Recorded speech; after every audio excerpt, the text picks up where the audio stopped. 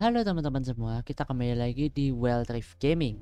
Di video kali ini gua ingin memberikan pendapat gua uh, tentang sudut pandang sudut pandang gua pribadi untuk game Suspect Mystery Mansion. Mungkin banyak banget di antara teman-teman yang bertanya uh, tentang gameplay-gameplay dari Suspect ini, lalu kenapa dia itu uh, konsepnya kita nggak bisa mabar nih barang teman-teman tapi dicampur sama publik segala macam. Itu kenapa si Suspect ini di konsep seperti itu. Tapi sejauh pandangan gue pribadi, jadi kalian akan tahu nih, oh ternyata game ini dikondisikannya seperti ini ya, seperti ini ya, seperti ini ya, kayak gitu ya. Kalau misalkan teman-teman mau lanjutin nonton, silahkan dilanjutin dan jangan lupa buat di subscribe channelnya dan juga di like videonya ya. Jadi kita akan langsung masuk ke tampilan gamenya biar gue bisa jelasin secara lebih detail tentang pandangan gue tentang game suspect ini, oke? Okay? Oke teman-teman semua, sekarang kita sudah ada di tampilan gamenya dan banyak banget di antara teman-teman yang bertanya, Bang gimana cara mabar?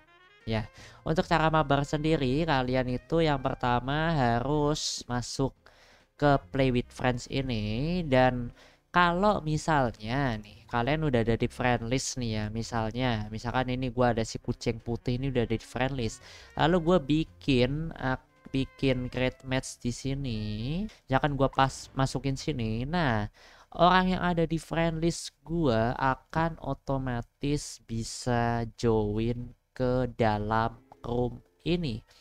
Tetapi kalau memang belum bisa temen yang mau join itu harus menggunakan kode room. Setelah di sini kalian baru bisa saling nge-add.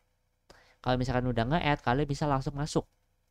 Terus ada pertanyaan baru lagi bis nggak bisa ya kita mabar barang publik dengan uh, temennya misalkan satu orang atau dua orang atau tiga orang. Jawabannya nggak bisa. Kenapa karena kalau misalkan kalian bandingin sama Among Us ya misalkan gua akan balik lagi deh ya balik lagi ke tampilan awalnya. Kalian bandingin sama Among Us. Oke. Okay. Among Us adalah di mana gameplaynya mereka cuman sekedar mabar. Mereka main bersama dengan metode gameplay yang seperti itu, konsepnya sama seperti ini juga, tapi mereka hanya sekedar mabar. Sedangkan untuk suspek Mr. Mansion ini itu beda teman-teman. Ketika teman-teman itu bermain melawan publik itu teman-teman selayaknya ngereng di Mobile Legend, ngereng di PUBG, ngereng di mana lah di mana kalian akan meningkatkan jumlah IQ-nya teman-teman ya. Nah, di situlah mengapa mungkin pihak gamenya itu membuat kita ketika bermain bersama teman itu tidak menggunakan IQ point ya. Di situ intinya di situ ketika kita main bersama teman kita nggak pakai IQ point mau kita kalah mau kita menang IQ point kita nggak akan berkurang nggak akan bertambah Berbeda konsep ketika kita bermain bersama publik di klasik mode. Ingat ya, di klasik mode. Kalau kalian main di special event pun ini tidak akan pengaruh seingat gua atau gua lupa, gua juga gak ngerti. Yang penting untuk klasik mode sendiri di sini kalian membutuhkan yang namanya IQ standar buat bermain di situ.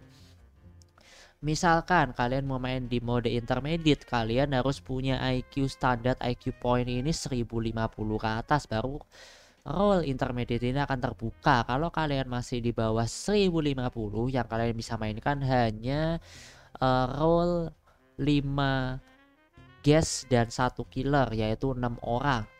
Jadi di uh, tier beginner. Begitulah mengapa uh, si suspek ini nggak bisa mabar bareng uh, temen ketika lawan publik jadi kalau memang kalian mau mabar sama temen ya harus sama teman-teman semua.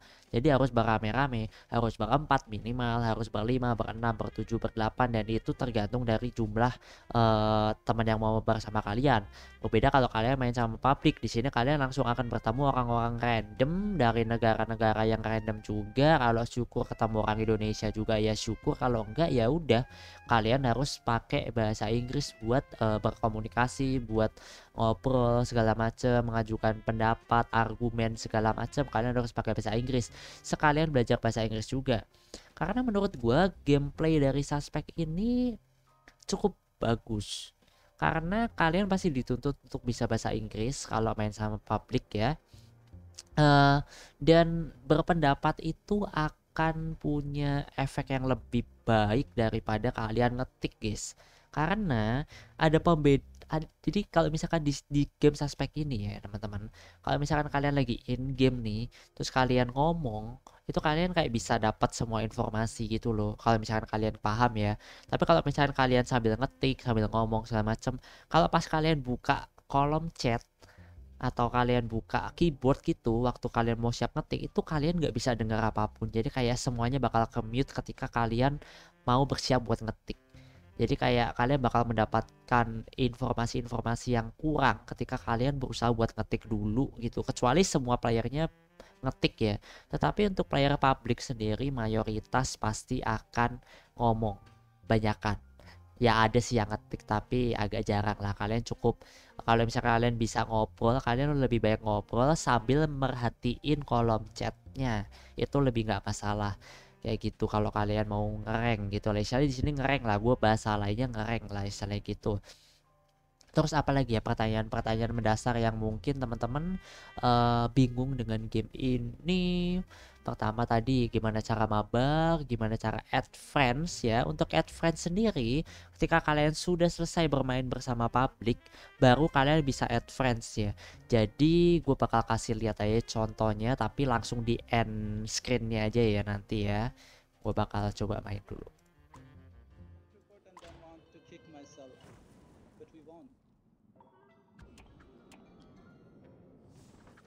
Oke teman-teman. Dan di sini kalian bisa lihat kalau misalkan kalian udah selesai bermain ya di sini gua kalah is okay. Dan di sini kalian akan menemukan tombol add di sini. Jadi kalau misalkan kalian ketemu sama player Indo uh, apa dan kalian itu udah kenalan atau segala macam kalian bisa add lewat sini ya teman-teman ya jadi kalian bisa tinggal tekan aja klik gitu. Nanti kalian akan langsung uh, bisa mabar sama mereka. Ketika kalian itu uh, ada bikin room lah istilahnya lah. Tapi yang bikin susah adalah di sini kalian harus punya kontaknya dulu Instagram kayak atau apa. Karena ketika kalian itu udah masuk ke friend list di sini kalian itu nggak bisa melakukan namanya chat ya. Nggak bisa janjian eh yuk mabar eh yuk ini eh yuk ini eh yuk apa eh yuk apa. Itu minusnya menurut gua. Jadi kalau memang dari uh, developernya tiba-tiba memberikan fitur untuk chatting secara online itu bakal lebih baik lagi buat kita bisa mabar bareng teman-teman yang ada di friendlistnya kita. Kalau enggak itu bakal susah banget. Alias kalian harus punya grup sendiri atau kalian punya kontak dari orang yang ada di sini.